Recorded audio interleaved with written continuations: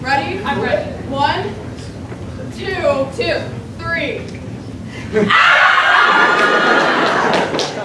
Andy revealed himself to be a double agent, at which point Dwight felt comfortable revealing that he also was a double agent. And then Michael announced to everybody that, get this, he was a double agent. Oh, and it is six o'clock. Really? It wasn't me. I'm not going down for this. Yeah, I want to go home.